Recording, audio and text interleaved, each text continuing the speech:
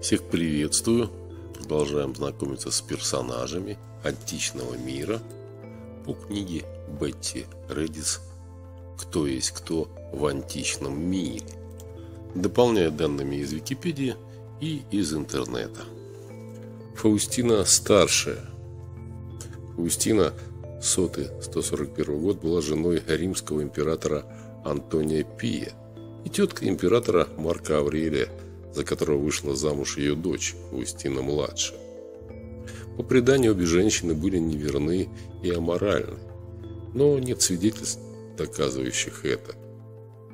Младшая Фаустина следовала за Марком в его северной кампании.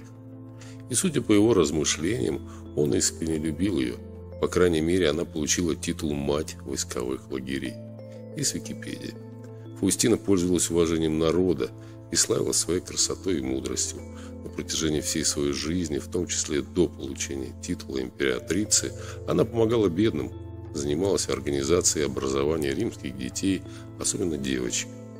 Надпись на ее надгробии гласила «Божественной Фаустине Августе, супруге императора Цезаря Тита Элия, Андриана Антония Августа Пия, великого понтифика, наделенного властью народного трибуна в четвертый раз, консула в третий раз, отца Отечества.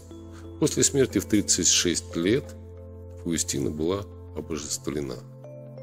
Ну, вот так вкратце о Фаустине старшей, которая была женой римского императора Антония Пии. Пока-пока, до свидания.